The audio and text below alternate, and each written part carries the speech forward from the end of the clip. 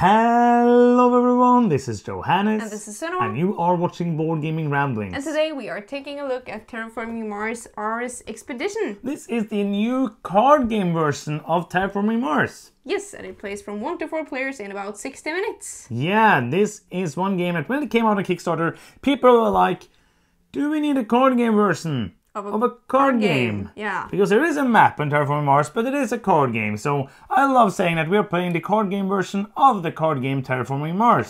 So this is more. I'm happy they didn't really. uh, They actually did call it Terraforming Mars card Yes. game. I was going to say i hope they didn't call it that, and then I saw it on the box. They actually called it the Terraforming Mars card game. That's annoying. When the Terraforming Mars is already a game with 90% cards.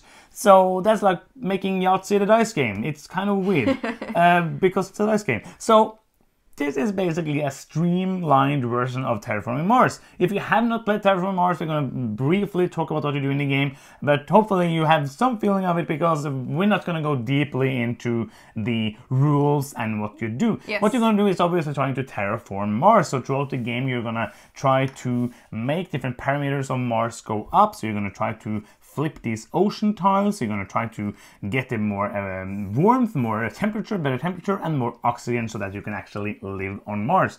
That is the goal of the game. And how do you do this? We're just briefly going to go over that. You're going to play cards because this is a card game Yeah.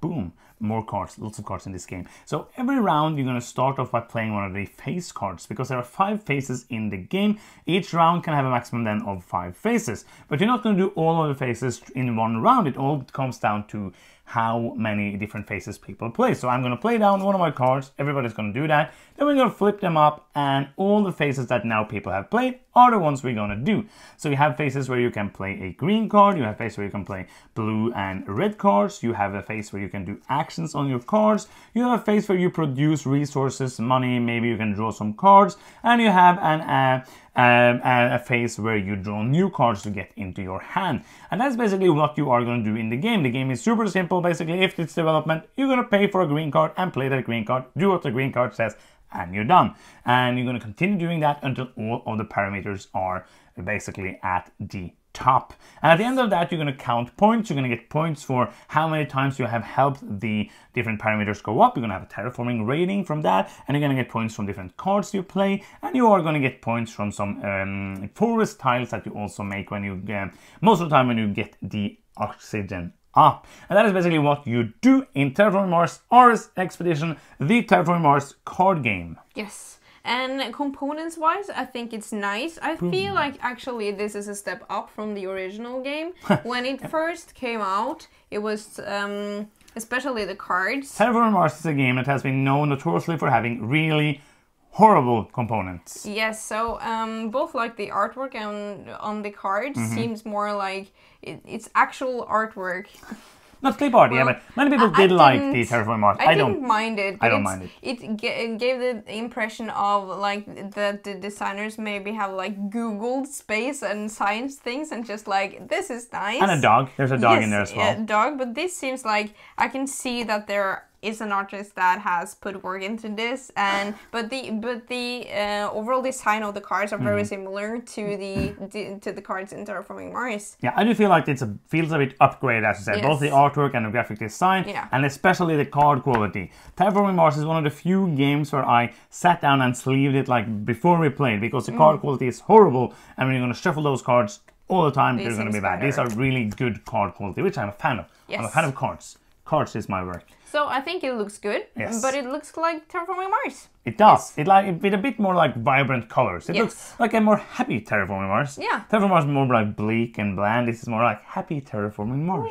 So let's talk about the player time and player count. Just one thing first. You, you held up this. Yeah. This is double layered. I'm pretty sure it's only double layered in the Kickstarter. What do you think about that? Ah, hmm, that is bad. They Yes. shouldn't. They should have included this uh, for all the games or all the players. No, yeah, retail version also. I don't know. Like I, I because we I do not publish games. I do not get quotes for price for games. I do not know how much more expensive this is.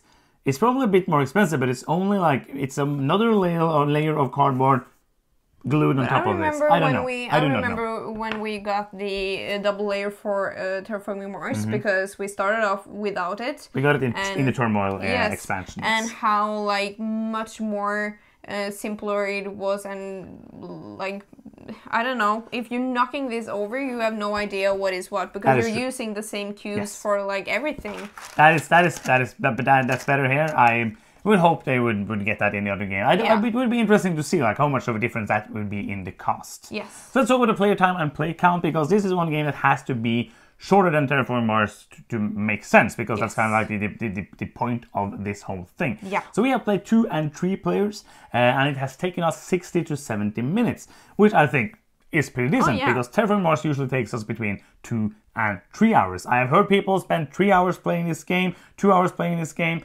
They're playing it wrong. I just think you're probably going to have a lot of AP then, uh, because like when we played, like the last game we played three players, I was like, oh, this is going to be longer because nothing happened on, on the board. No, no, none of the parameters went up, and then suddenly, boom, and it, was done. yeah. yeah, yeah. Like we went 40 minutes, nothing had almost happened, and then, then 55 minutes, and boom, it was done. Yes. So so that is pretty nice. I like the length of the game. It does not overstay its welcome. No, absolutely not. And with the parameters, you're trying to get to the point because there are a li- limitation of points Mm-hmm. basically in the game, kinda. And you're trying to get them as soon as possible. So it feels a little racy, like Yes. Terraforming Mars, Oh, yeah. uh, but much, much shorter and a lot also. Um, because you're doing things sim- simultaneously, Yes. there's uh, less downtime also than Terraforming Mars. So let's go into more deep into that and other things. Yeah. So when we talk about the gameplay, because it can look beautiful and it can be things, and this I'm saying in all the games and all the reviews. We know it. But gameplay is it fun? is, but is it fun? But is it fun? I think it's cool that they have taken some elements from Terraforming Mars, Mm-hmm. but also removed some, and also like kind of mashed it together with Race for the Galaxy. it's basically that. It is. it's yeah, basically because is that. if you have played or other games where yeah. you choose. if you have played, for example, Race for the Mm-hmm. Galaxy, you're playing, for example, this turn I wanna do development of a green card. Yeah. Then uh, I will choose this, and maybe you will choose construct of a red or blue card. Boom. And then we both reveal those, and we both do these two phases. Oh, yeah. When I have picked my phase, I get a bonus for that. I'm pick my phase. Um, but I, I think that this is a, a an interesting blend of of mechanisms together. But other than that, it feels very similar to Terraforming Ra- Mars, just like uh, simplified. So there's Very no so. no milestones, no achievements, no map, no no like forests or something that interacts with uh, things on the board. Yeah, and that makes the game very, very multiplayer solitaire. Yes. You there you have removed almost every single interesting interaction in the game. Yes. The only interaction that is left is basically do I think you're gonna pick this card, so I pick something else that's even more important. I'm gonna be yay when you pick Yeah. that. Of course, like the the production and the the drawing of cards, those are the ones where are easier to see if somebody might pick that, and you're gonna be like, oh, it's better for you. Not gonna pick it, so hopefully force you to pick it, so that it also happens for me. Yeah. And and that is fine, but the it does end up then being me sitting in my little zone doing my thing and not really caring too much about what you do in, in your zone. Mm. And I'm usually not a fan of that. I'm usually not a fan of, like, I love games that are multiplayer solitaire. We play many Euro games where you mostly do things on your own board. But I do like it when it's your turn, it's your turn, and my turn, it's my turn. Mm. Most games, I like that, and I need that because I have no feeling of progression. I have no feeling. I have my own little thing that I don't know what to do. Here, it doesn't bother me that much because I am just doing my little thing, and because they have removed the uh, milestones, the achievements, and the map, I don't really care about what you're doing. Yeah, so if you thought that Terraforming Mars was cool because you interacted with other people, you Mm-hmm. might not like this game because you're basically only, as you said, um, interacting in the phases. And most of the time, I'm going to pick the phase that I want to do most, anyways. Mm-hmm. I'm going to just hope for the best. Um, uh, because I have a plan that I need to do in a specific order to work for it to work out. I think that we might like moving towards final thoughts here. Yeah, let's do like actually. a bit. I think we should do like a, a longer. It's going to Yeah. be probably a bit longer form. Terra, um, Terraform Mars, longer form. uh, Final thoughts because Yeah. there's a lot of things to, to talk about with this game. Yes, absolutely. So I I think that um, with this sort of games Mm-hmm. where I'm we have a big game that is long and complex, Mm-hmm. uh, when you try to simplify it, i it's a question of is it simplified well? Yes. Do it still have the the elements in, from the core game that I enjoyed? Yeah. And do I feel like this has a purpose? For example, Yes. it, it is actually a lot shorter. Yeah. So for that, it absolutely has a purpose. Yeah. I think that for me, I still think that Terraforming Mars is a better game. Oh yeah. Like the mechanisms with the Mm-hmm. map and interaction, and also the drafting. If you're playing with that in Terraforming Mars, I think that is great.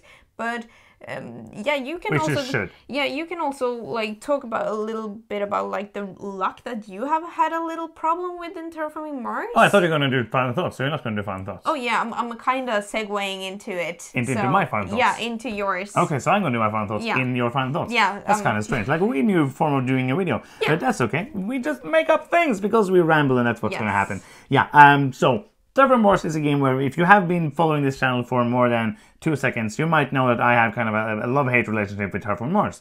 Beta sets tell me that I have only almost played the game 20 times, which must mean that I do like the game. Mm. Because most games I do not play 20 times. That's true.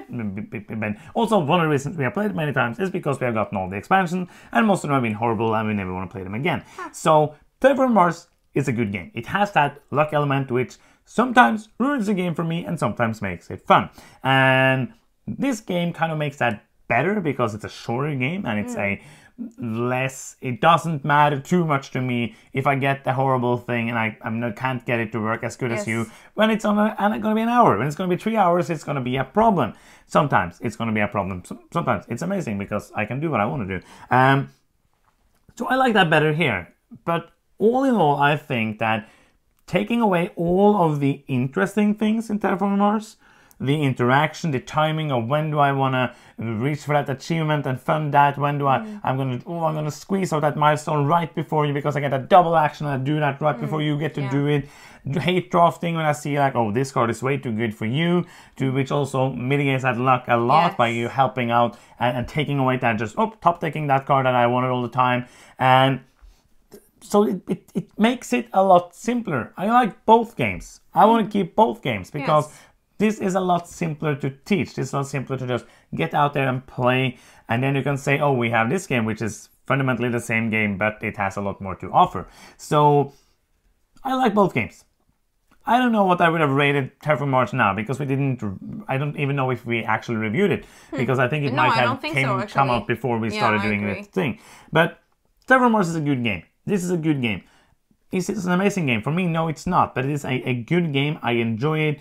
I think there is many good. I, I agree with you. Like I think this is one that has has done that like mm, simplifying thing in a good way. Yeah. Because most times when we play a the card game or the dice game or the X game, Hmm. then we are usually very let down because it's not what we want it to be. Like, but then I just want to play this. Yeah, you have this problem. Either it's too similar or Mm-hmm. too long or it doesn't really serve its purpose or it has taken too much away for Yes. me to enjoy it. And I feel that this is close to the point of taking away too much of the things I'm that makes like Terraforming Mars. On the edge there. Really on the edge. So do you? Should I just say do my rating now? Like because Yeah, I don't know. go. I don't know how this video works anymore. Uh, but that's fine. So it's a good game. I think I'm gonna rate it like a, a, a seven. Yeah. I think it's a fine game, over average, good game. I want to keep it. I want to play it again. I would not, if somebody want to play it, I would play it. But I don't know, like, if somebody says, like, oh, you want to play Terraform Mars or Terraform Mars Ares Expedition, if I have the time and I have the players, and I would rather play Terraform Mars. Oh yeah, I agree. That is like the superior game for me. Mm-hmm. But I think like uh, you should definitely to check that this out as well. I, I don't know if you're like not a fan of Terraforming Mars. It's still kind of similar, so you might not like this either way. But I think like if you enjoy like the card playing from, with these cards Boom. from Terraforming Mars, I think that this is uh, essentially the same thing in this It is, game, which yes. I enjoy. So I'm also going to rate it rate rate it a 7 I Uh-huh. think it's a good game. Yeah. So that is Terraforming Mars Ares Expedition. Yes. That's the end of this video. If you are still here and you still like us and you have not clicked the subscribe button, do it now. It's free and it's fun and makes us happy like this. And if you want to do something that's not free but still very much fun and helpful, you can go to patreon.com slash boardgamingramblings and help us out there. And that is the end of yet another review here on the channel. Thank you all for being here. Thank you for watching, commenting, and being awesome. Yes. And that is the end of the video. Thank you so much for watching. I'm Johannes. I'm Sunniva. And you've been watching Board Gaming Ramblings, and bye bye.